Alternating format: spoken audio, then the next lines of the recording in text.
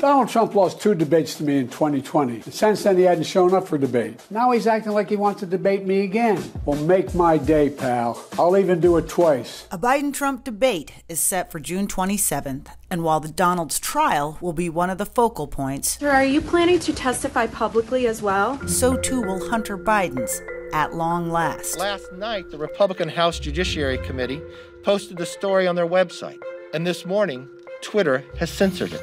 The nation was largely denied information about the Biden family business in 2020, thanks to the censorship of social media, a compliant press corps, and a partisan cabal of former intelligence officials. There are 50 former national intelligence folks who said that what this he's accusing me of is a Russian plant. In the last presidential debates, four years ago, Mr. Biden brushed off claims about his son's foreign business dealings. Vice President Biden, there have been questions about the work your son has done in China and for a Ukrainian energy company when you were vice president. In retrospect, was anything about those relationships inappropriate or unethical? Nothing was unethical. This time, the nation won't be denied the facts. The laptop is real, and House investigations have documented the foreign financial payouts to Hunter and his associates. Between 2014 and 2019, this brings the total amount of foreign income streams received to approximately $17 million, correct? That is correct.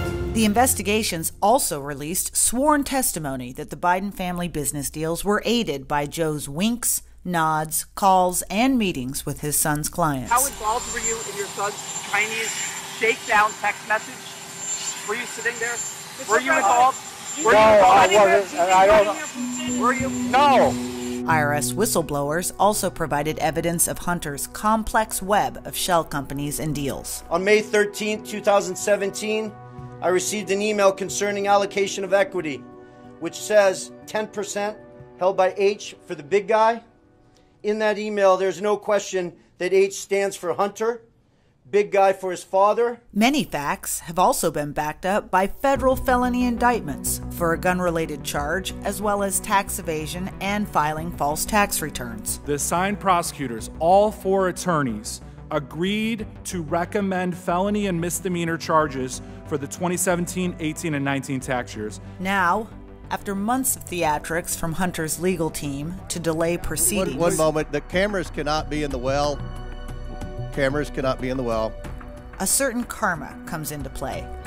Thank you, Mr. Chairman. Uh, excuse me, Hunter. Apparently, you're afraid of my words. Uh, here. The left has spent years engaging in lawfare against Mr. Trump, only to realize that most of their cases may be pushed beyond the election. This is a Biden trial. This all comes out of the White House and the Department of Justice. By contrast, Hunter's trials are proceeding along normal timelines because they're the sort of standard charges that any number of Americans have gone to prison for lying to federal tax and gun authorities or evading taxes. All of the emails, the emails, the horrible emails of the kind of money that you were raking in, you and your family. And Joe, you were vice president when some of this was happening, and it should have never happened. And I think you owe an explanation to the American people. In the 2020 debates, Mr. Trump could only hurl unvetted accusations about Hunter's activities.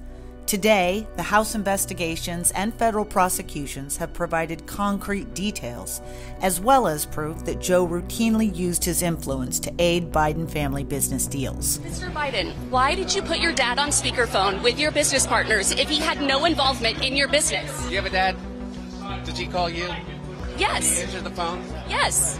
Okay. But why did you need to talk to him during business meetings if he had nothing to do with your business? And Mr. Biden stands accused of having been untruthful with the public. I've never spoken to my son about his overseas business dealings. Since 2019, as more testimony and evidence has come to light, Mr. Biden's story has changed. The president ha- was never in business with his son. I did not interact with his party. Add to this the unseemly backstory at the Justice Department and IRS whistleblower claims that political or partisan actors work to protect the president's son from being indicted. At every stage, decisions were made that benefited the subject of this investigation. Well, at the end of the day, he, you know, he had a career in Washington. Yeah. Uh, graduated Yale Law School and had a very big network in, in D.C. and brought that know-how and understanding of D.C. and ultimately the Biden brand. Mr. Biden may have successfully minimized his Hunter liability in 2020, but there's no hiding it this time.